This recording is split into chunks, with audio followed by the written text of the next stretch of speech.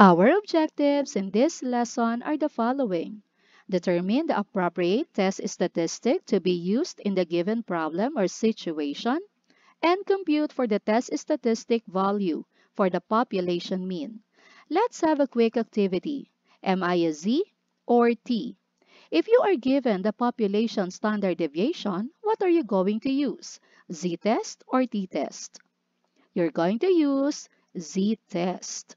If you are not given the population standard deviation, but your sample size is greater than or equal to 30, then you are going to use z-test. But if the population standard deviation is unknown and the sample size is less than 30, then this is the time that you are going to use t-test. In this lesson, we are going to use two formulas. One is for computing the z-value and the other one is for computing the t-value. Notice the similarities here. x bar here is the sample mean. Mu is the population mean and n is the sample size. The only difference is the standard deviation. If you are going to use z-test, then you're going to need population standard deviation denoted by sigma. If you are going to use t-test, then you're going to need sample standard deviation denoted by letter S. And if it is a t-distribution, we also have this what we call degrees of freedom which is equal to n minus 1. Let us try this. Sample mean is equal to 100. Population mean is 105. Sigma is equal to 15. And the sample size is equal to 50. First step, we have to identify what test statistic to use. Since we are given here the population standard deviation and our sample size is greater than 30, then we're going to use z-test. Step 2, let us write the formula. So we have z is equal to sample mean minus population mean all over sigma divided by the square root of n. Step 3, substitute the given to the formula. Sample mean x bar is equal to 100, mu is equal to 105, sigma is equal to 15, and n is equal to 50. Step 4. Solve and simplify. 100 minus 105 is negative 5. Square root of 50 is equal to 7.071, round off to the nearest thousands.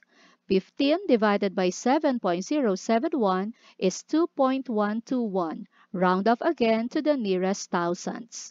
And negative 5 divided by 2.121 is equal to negative 2.357. This is now our computed z value. Let's have another one. Sample mean is equal to 600. Population mean is 582.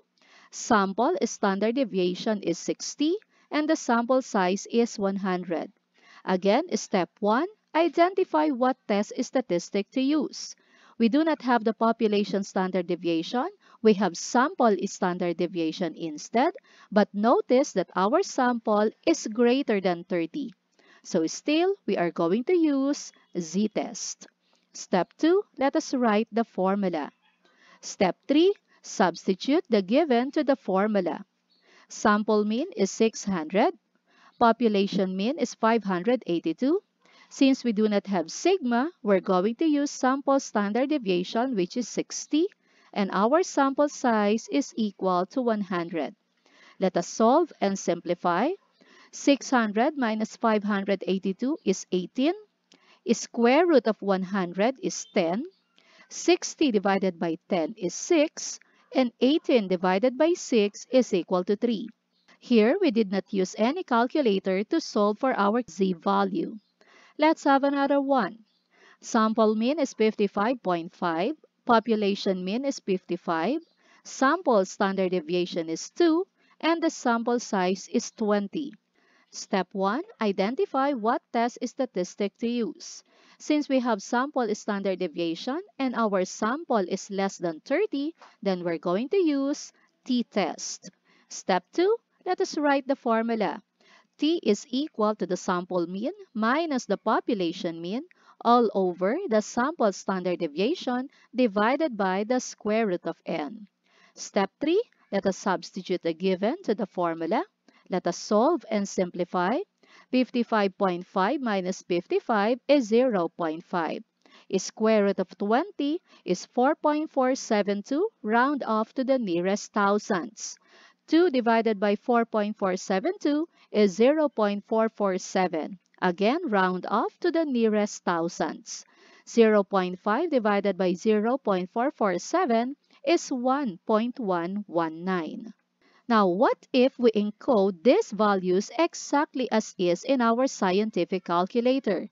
Let me show you. So we have here 55.5 minus 55 all over 2 divided by a square root of 20, exactly the same way it is written here. Initially, the calculator will give you an answer in a rational form. Simply press this button here and it will be in decimal form. Notice the answer. Here we have 1.118 round off to the nearest thousands, while here we have 1.119 there is a discrepancy of 0.001 and that discrepancy is because of the rounding off that we did here. First, we round off square root of 20 to the nearest thousands and then we also round off 2 divided by 4.472 to the nearest thousands. That causes the discrepancy of 0.001. So what I tell to my students is to encode the numbers the way it is written here. Let me show you. I have searched for a scientific calculator online and this is from GeoGebra that works the same as my scientific calculator. Since we need a fraction, we're going to press this button here. Notice that the cursor is now in the numerator. Let's key in our numerator. You may use your mouse or keyboard. 55.5 minus 55 put the cursor down. Since you need another fraction in the denominator, let's press again this button. And then we'll input our sigma here, and that is 2. Put the cursor below. We have a square root of 20. Now you have the answer, which is exactly the same when rounded off to the nearest thousands. The problem is if your calculator do not have this feature, so what are you going to use? you are going to make use of the parentheses. Let me show you. I searched for another scientific calculator online and this is from calculator.net. This time I'm just going to use parentheses because it has no fraction feature. For the numerator, I have to enclose that, so open parenthesis, 55.5 minus 55. Close parenthesis. This is my numerator divided by, so I have here the division symbol. Open parenthesis again for my denominator. I have 2 for sigma, divided by again, the square root, this one, of 20. Close parenthesis, as a partner of this open parenthesis here inside the squared symbol, and another close parenthesis as a partner of this open parenthesis here before 2. Now, I have the answer. Let me show you when I encode it in my calculator using just the parentheses. So I have here open parenthesis, 55.5 minus 55, close parenthesis, and this is for the numerator. And then I have here divide for this fraction bar here, and then open parenthesis again. Then we have 2, this one, and then division again for this fraction bar here. And then I press square root, and then 20 then close parenthesis. So this second pair of open and close parentheses is for your denominator. See, I have the same answers. So even if your calculator do not have this feature, you may use open and close parentheses and still arrive with the exact answer. Let's have another activity. What's my value to you? Number one, null hypothesis mu is equal to 70 Alternative hypothesis, mu is not equal to 70, sample mean is 73, sample size is 40, and sigma is equal to 5. Since we are given the population standard deviation and our sample size is greater than 30, then we are going to use z-test. Let us recall our formula for z-test, and now let us substitute the given. Sample mean, we have 73. Population mean, we have 70. Sigma, we have 5. And sample size, we have 40. Input this in your calculator using the parentheses, and you will arrive at this answer. Let us check in a calculator if you encode it exactly the same as this one. And you have the same answer. Round off to the nearest thousands, we have z is equal to 3.795 because 7 is greater than 5, so we're going to add 1 in our 4 here. Let's have another one. Null hypothesis, mu is equal to 15. Alternative hypothesis, mu is less than 15. The sample mean is 13.50. The sample standard deviation is 4.2. And the sample size is 15. Use alpha equals 0.05. So first, let us express these numbers here in their proper notation. Sample mean is x bar. x bar is equal to 13.50. Sample standard deviation is small letter s equals 4.2. Sample size is n equals 15. Then we have alpha is equal to 0.05. Since we have here sample standard deviation and our sample is less than 15, we are going to use t-test. Let us recall our formula and let us substitute our values here x bar is 13.50, just the same as 13.5. Mu is equal to 15.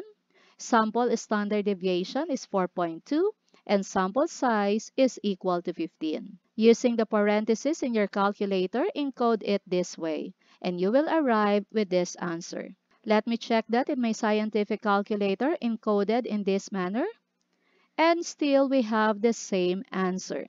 Round off to the nearest thousands, t is equal to negative 1.383. Last one, null hypothesis mu is equal to 85. Alternative hypothesis mu is greater than 85. The sample mean is 88. The sample size is 40 and the sample standard deviation is 6. Use alpha equals 0.10. Again, let us express this in their proper notation. Sample mean x bar is 88. Sample size n is 40. Sample standard deviation s is 6 and alpha is equal to 0.10. We have here sample standard deviation 6 but our sample is greater than 30. So we are going to use z-test. Let us recall the formula and let us substitute our given here. Sample mean is equal to 88. Population mean is equal to 85. We do not have sigma, but we have sample standard deviation. So we'll use 6 instead. And sample size is equal to 40. Encode this in your calculator and you'll have this answer. Let us check if we encode this the same way as this one. And yes, we have the same answer. Round off to the nearest thousands, we have 3.162. Let us do extra challenge. Supply the data being asked and determine the computed value of the appropriate test statistic. Assuming normality, 35 students were randomly selected to test their typing skills. They have a mean of 38 words per minute. Let alpha be equal to 0.05. Test if this is significantly different from the average typing speed of 40 words per minute with a standard deviation of 4 words. Like what I advised in my previous lesson, first look for the sample size. We have here 35 students were randomly selected. So this is my sample size N and then they have a mean of 38 words. So this mean pertains to our sample, so this is the sample mean x bar. Let alpha be equal to 0.05, that is the level of significance. Is this significantly different from the average typing speed of 40 words per minute? So this 40 here is the population mean. This will be our null hypothesis. H sub 0 mu is equal to 40. Now, for the alternative hypothesis, is this significantly different? So the word here is different. So we have mu is not equal to 40. With a standard deviation of 4 words, this pertains to the population, so this is sigma equal to 4. We have sigma. We have the sample size greater than 30. Therefore, we're going to use z-test. Let us recall our formula and substitute our values here. Let us compute and this will give us this answer. Round off to the nearest thousands, z is equal to negative 2.958. For the summary, we used two formulas in this lesson. This one is for z-test. It is used when sample size is greater than or equal to 30 and the population standard deviation is known. This one is for t-test used when the sample size is less than 30, sample standard deviation is known, the population is also normal or at least approximately normal. Now, it is time to check your understanding. Pause this video for more time.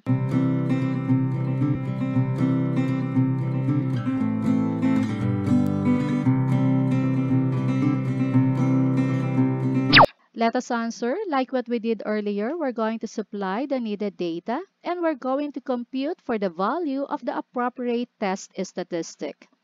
In the past, it took an average of 30 minutes queuing in the registrar's office the dean introduced a new procedure, and he believes that it is effective.